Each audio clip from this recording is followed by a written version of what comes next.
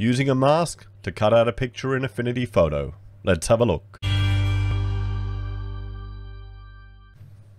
Hello everyone, Florian Heise here and welcome to another episode of Heise Tutorials.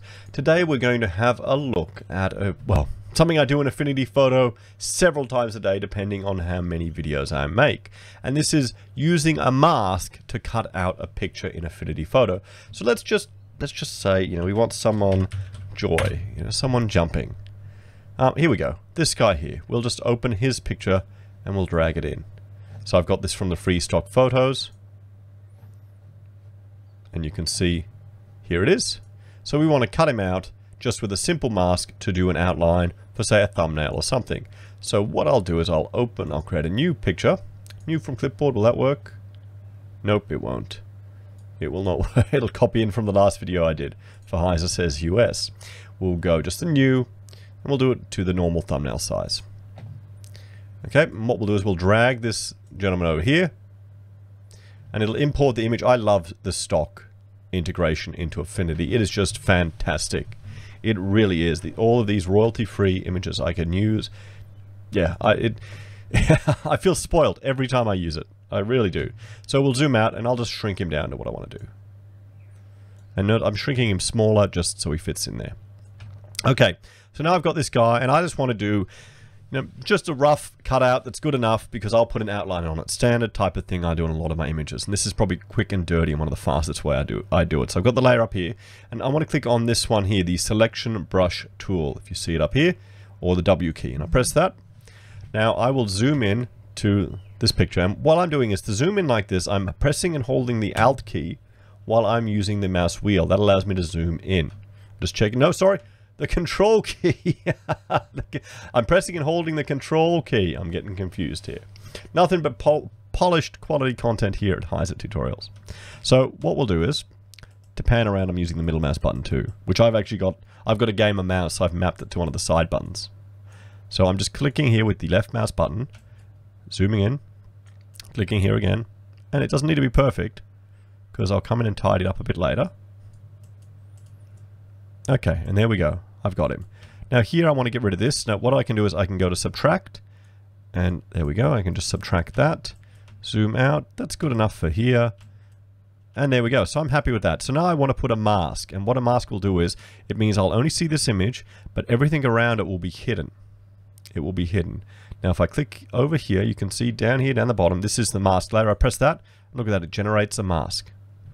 But let's try something else. You've got this other thing here, you can go invert selection. So if I press that, it will select everything else, and I put a mask on, and there you go, it just hides him.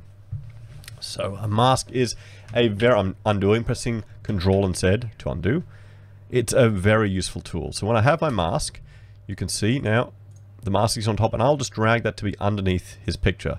So there it is. So now it's associated with just this image, this layer. And so I want to put an outline on him. I'll click down here on FX. And there's all these different options. We can do, let's um go here to outline. Go here to outline. And what, and what you're going to see now is the big advantage of Affinity Photo over Photoshop. And that is real-time ability to see changes. So I'll go here and let's make, you know, a radius. Look at that.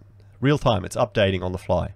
So we'll say let's make it 25 and I'll do my my uh, standard. Now see this this little delay here in um, in seeing the pop-up is simply to do with my well my recording software actually. It's got nothing to do with Affinity Photo. It works fine just because I have vMix running. But there you go. So I've got an outline of him. And I can move around. I can adjust it. I can click on the mask and I can move it around too. Notice that? See? And the outline's appearing. One interesting thing with a mask is if I click on the mask and I press the Alt key and double click it will give me this black and white version. So then if I go over here and I'm just trying to see here, if I go to my paintbrush, the camera's right in the way of, of the picture. If I go to the paintbrush, and you can see, look at the preview down here, guys. You can see what happens if I draw here.